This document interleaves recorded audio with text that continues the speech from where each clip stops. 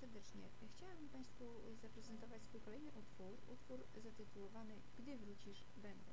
Oczywiście słowa i muzyka, kompozycja